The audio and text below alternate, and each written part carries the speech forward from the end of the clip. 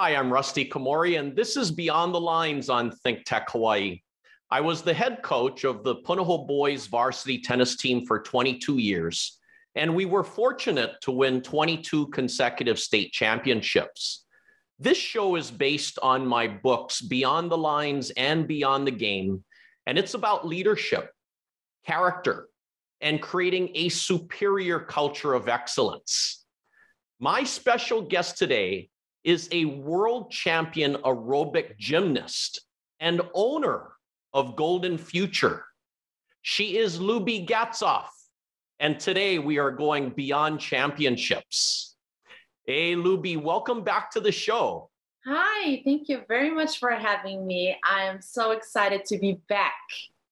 Well, you know, Lubi, you have been doing such amazing things. I mean, it's so I love talking with you um, about you winning the world championship in aerobic gymnastics, but I'm also I also know your parents, uh, and I'm so happy that they're here now, living in Hawaii, and really helping you, you know, add to your business with, at Golden Future. And your husband David is such an outstanding person, such a man of great character, and I want to congratulate both of you on the addition of baby Olympia. And I want to ask you, Lubi, how has being a mom changed you?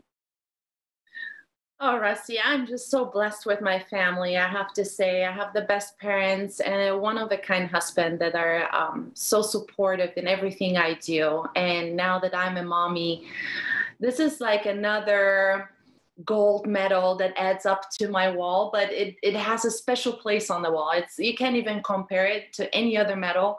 To be a mommy is um, an, an incredible thing to me. I, I can be now not only a coach to people but a coach to my own daughter 24 7 and um, i feel very blessed. I couldn't imagine to have a better job than being a mommy Well, I, I know Lubi, Olympia is going to have some incredible genes in her. And I want to ask you, Lubi, how did you first get interested in, uh, in pursuing aerobic gymnastics?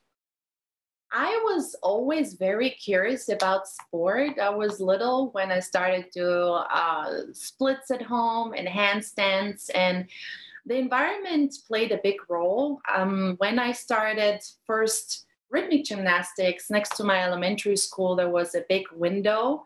And every time when i walked back from school to home i would stop by on the window and watch what the kids were doing. And back in the day that was rhythmic gymnastics. So that had an influence on my curiosity. And um, that's why i started rhythmic gymnastics and i signed up for this discipline. And uh, this later on brought me to aerobic gymnastics. We got it introduced to us, so to all athletes that were in rhythmic gymnastics. We got um, videos to look into it, and I fell in love of that amazing modern combination of aerobic gymnastics to move fast, to have the elegance in there, the strength, the flexibility, the modern music, and to, of course, perform perfectly and on a very high level. So that was what captivated my heart and why I chose to do aerobic gymnastic over a hundred percent. well, Lubi, because of you, I'm a huge fan of aerobic gymnastics now. And yeah. and I want to ask you, Lubi, you you won the world championship in 2014. And when you reflect back now on winning that championship, what were the reasons why you became a world champion? Many reasons. It's it's a full net that complements you know every factor complements the other factor. Of course the athlete needs to be hardworking needs to have the endurance but you need to have a very special and good coach. In my case my coach was very selfless very knowledgeable and it happened to be my mom. On the other hand i needed the medical support with personalized therapies to know the person inside and out. And I got that from happened to be my dad. And then I had very patient uh, friends. I had judges that gave their expertise as well, and myself. And I would I would define myself as crazy and stubborn, and I don't want much. I want it all. So I think that whole net is what made me not only a champion, but a world champion. No, that makes sense, Lubi. And you have such tremendous strength and flexibility and balance. I mean, it, it's incredible to see what what you have done and what you still continue to do. And what would a typical day of training be like for you when you were training for the World Championships? I was uh, then still studying for my master's degree in health and fitness. So it was a very busy schedule as I had to wake up early in the morning around 5 6 a.m in the morning have a little quick healthy breakfast drive with my car to salzburg which was around an hour and 15 away from my hometown. Then i had all my classes and uh, courses at university. Very often my mom would come to my university. We would train there for at least four or five hours.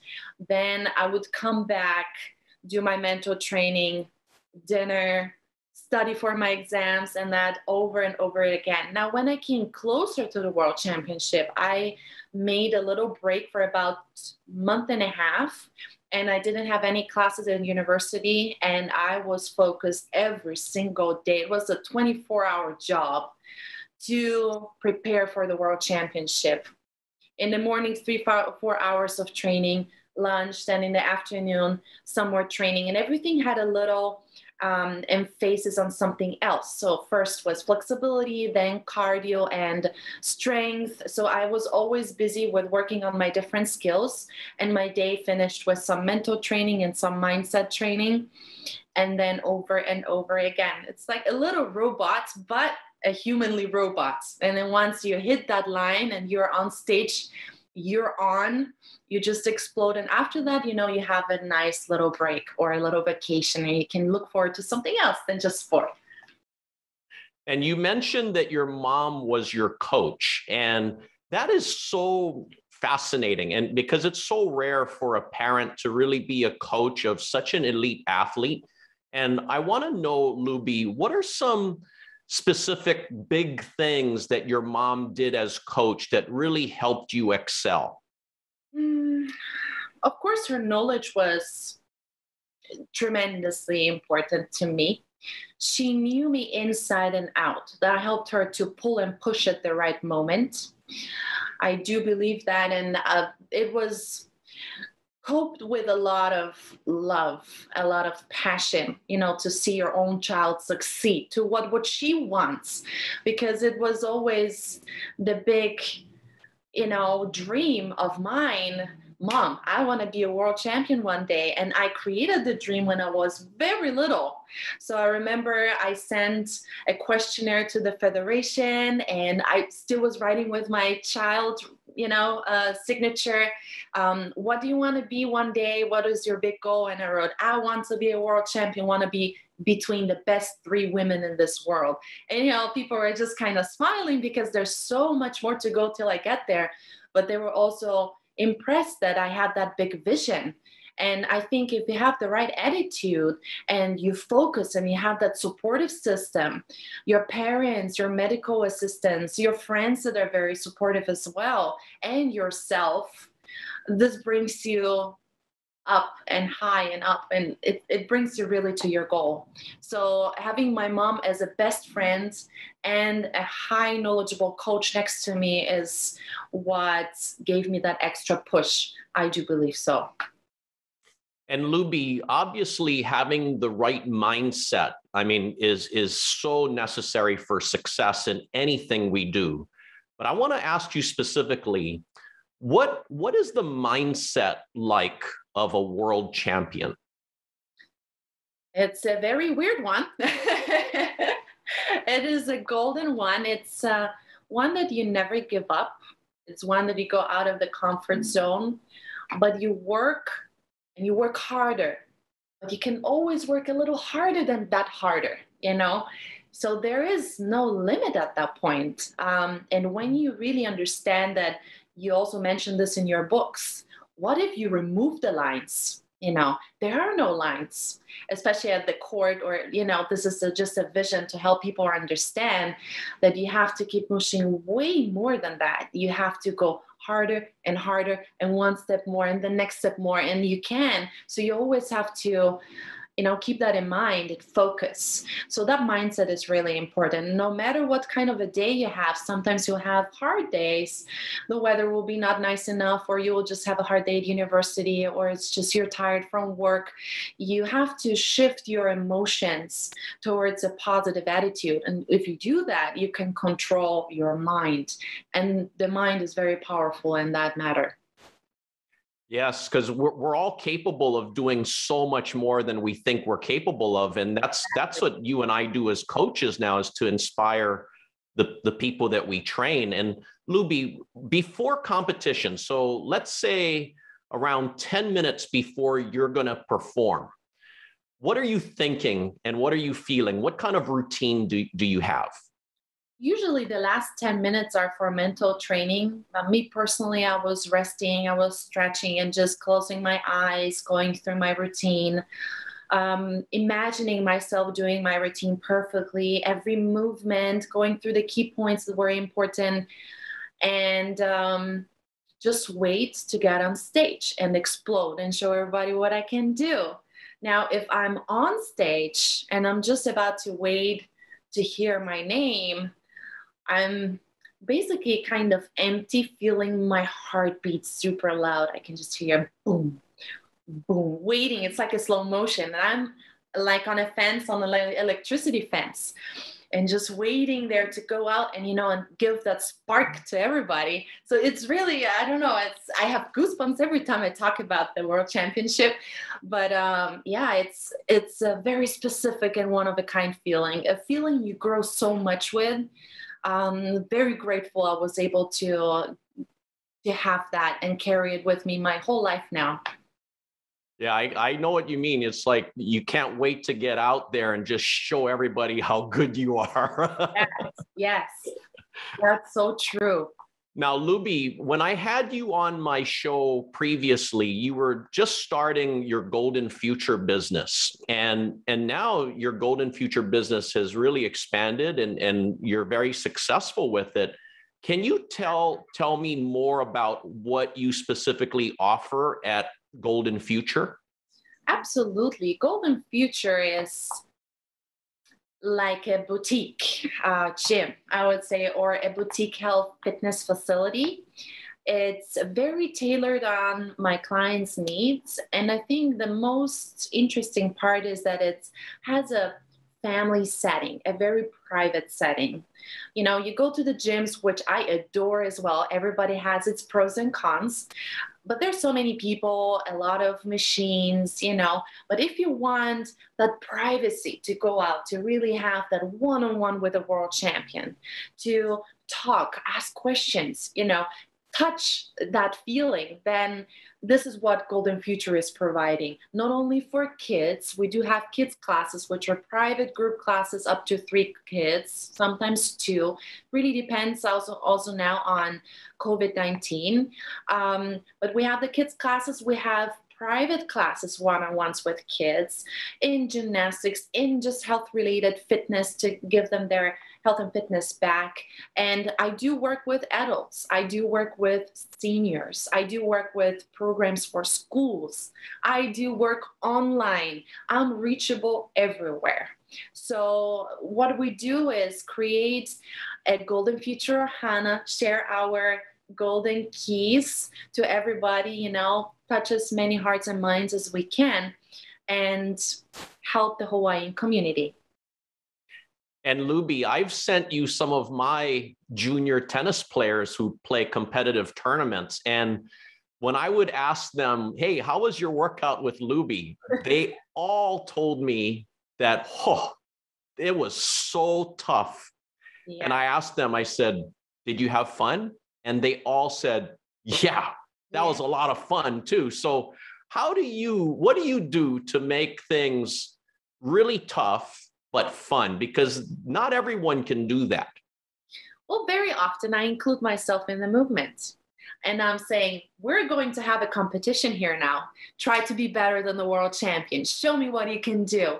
You know, and I think this is also something that motivates them to me to see me struggle not really struggle but to see me also breathing and do the push-ups with them and then i'm i'm, I'm just showing them that i'm also a human but we have to keep pushing hard we have to go over our limit you know so i think that extra support of me being right next to them and that's why i'm saying golden future gives that that private feeling when they come in is what makes it special my kids and also adults they enjoy my mindset, our talk, our interaction. And uh, with kids, especially, I am moving a lot.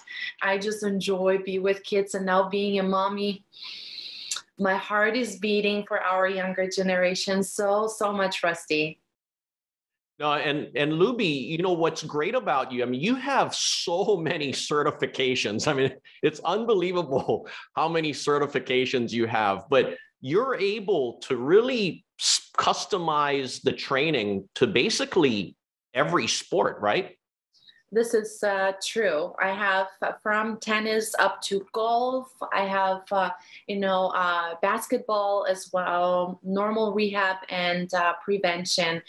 Um, I do have also seniors with their specific diseases that come in. I also just had at uh, Central Union Preschool um, a program for their fitness day that I created. Um, I am very happy and ready to help anybody who is ready also to get my keys from golden future and my my secrets so it's anything you need and you want that extra mindset is right at golden future and Lubi, you mentioned that you you know you train adults and seniors. When yes. you're training adults, what are what are some things generally that that they're looking to improve on? Depending from adults to seniors, if they're more seniors, it's a lot in their balance um, that we focus on and uh, fall prevention. If they're younger, a lot have different goals. Some want to lose weight, get in a, into a specific um, shape. Others want to work towards their high cholesterol or high blood pressure. And then, depending on their needs, I'm creating my program and I'm adjusting the level and hardness of my movements. And it's been working really wonderfully. I've been working also with uh, doctors together, so they're giving extra advice if anything needs to be um, considered. And we, we've been doing really great. I'm very grateful. So, Lubi, as a business, okay, you're obviously have you know your business is growing, you're having success. What? Why are you having success in your business? Because we do what we do. We go over every comfort zone, and we have a world champion stamp on everything we do. And I think to be a world champion is not something everybody can achieve that easily. So to provide that from Golden Future to anybody who trusts in my work means so much to me. And um, we do everything with love and so much passion. And people can see that. I think people can feel that this is real. What they get and what we serve comes from our hearts and it has high a high level of knowledge and experience. And I think this combo is what makes Golden Future very special.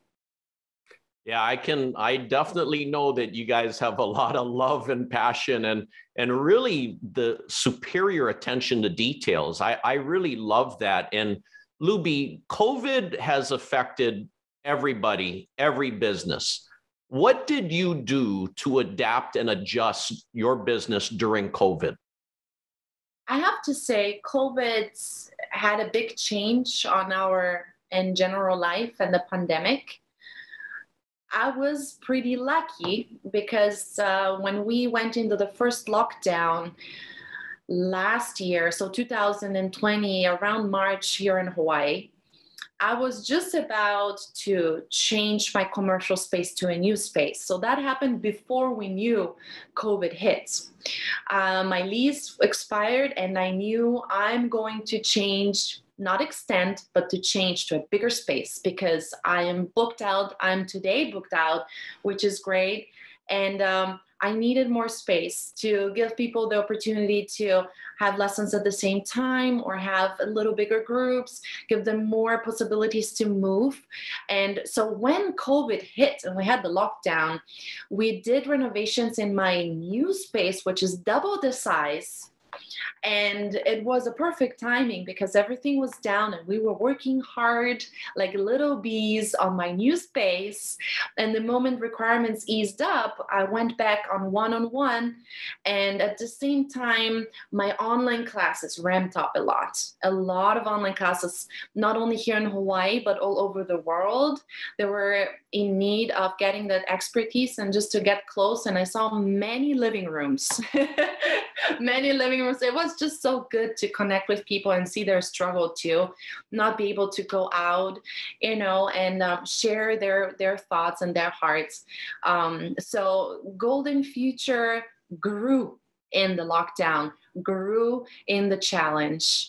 Until to that day now i hope and i see my space that was now double in size probably will have to expand in the near future again well, that's that's great to hear, Lubi, and and that's really what great leaders do is they they just find a way to adapt and adjust to really still achieve the goals that they want to achieve. And Lubi, you have both of my books now, and and I know that you've read both of them. And what what are some things that really stood out to you in the books? First of all, congratulations on your books. I was really happy to read them, and I feel honored that I was able, with my baby, to accommodate everything and, you know, put that priority to read the book. I think it's really something people should have in their pocket. It's very easy to read and gives great key points, just how to deal with life. In the second book, even more so, you can see the real Rusty. How did he get there where he is now? You know, you give so many examples of what situations you went through. So you're not only guiding how to strive for excellence and, and success, but what was your journey? And I think people get really close to the author that way. And um, they feel like, hey, we, we're already friends with you. You know, reading through that, like, I know Rusty now. It is really, yeah, you, you can feel that by heart. And um, one specific thing I really liked that you mentioned in the book is um, about your emotion and your attitude. And I think this is number one, even to this day every day i keep that in my um, in my routine you know no matter what your emotion is you can control your emotions and it's so important to have the right attitude if you do that you can you can put that in the right direction. And then you don't have to worry about anything that happened five minutes ago, but you can look into the positive things and grow and, you know, put that aside. So the attitude is so important. And I really loved, especially that little part in your book very much. It's an everyday lifesaver for people. And um, so please keep that in mind, everybody listening. No, you're right. I mean, that attitude and emotions, I mean, really controlling everything that we have control of and really not worrying about things that are beyond our control. And and you're right, Lubi. The first book, you know, I wanted to really provide a, a good framework. And then the second book really wanted to go further beyond the lines and share more about, you know, some of my journey as well. And and I also know that that you liked uh, my one percent principle, right? I did. I did. And actually, I was telling you two years ago when we did the interview, I mentioned about a plus. I do use a golden future. So I always say, you know, every day you have that extra little plus you put on your paper, something extra you do. And you are mentioning this with a 1% rule. So every day, 1% more needs to be done so you can be successful and grow. And um, is it a plus? Is it a 1%? Or you want to call it differently? This is what is important so you can go one step ahead be a little better than than the rest this is so important so i'm so when i read it i had a smile i said i know this rule i'm using it and it's really good i i'm happy you're sharing this with people it's it's tremendously important Yeah, because everyone can can improve themselves one percent, and when you do that, it gets you closer to achieving the goals that that you had set for yourself. And Lubi, besides COVID, what's a big adversity or challenge that you dealt with in your life? Um, I would say to multitask big movements in my life. Um, before I moved to Hawaii, and everything happened kind of at the same time. I finished my university degree, my master's degree in health and fitness. Almost simultaneously, I had the world championship, and almost simultaneously, I was prepping to move to Hawaii. So, those were three major waves coming at me. Um, and it was a big challenge to get ready, be 100% at all three, you know, do your best and um, get those different medals, you know, in university. Okay, I got that. So behind me now, world championship focus. I got that too behind me, you know, and then Hawaii. Um, it was always my dream to be here in Hawaii and to help the Hawaiian community. So that I made that big step to be here. It was another big world championship goal for me. I want to go for the golden life now. I want to share everything I know to people. And but at the same time to have that in one big wave that was definitely the biggest challenge in life um, and to multitask all those um, those things it, it was yeah it, it's not not doable it is doable and there is no i can't it's just i don't want so i learned that it's it is doable. Just whatever your goal is, set it higher. Always higher. You can. No, you're right. I mean, and you did it. Those three challenges all simultaneously happening to you, and and you did it. And that that is that is tough. You know, moving to Hawaii. And Lubi, when you reflect back on your young life so far, what's an important lesson you learned? Never lose focus work hard. Um, and you should really know if you invest all your energy into something specific, do it with your heart. If it's halfway, it's not going to bring you where you want to be. Um, so check and see if this is really what you're burning for.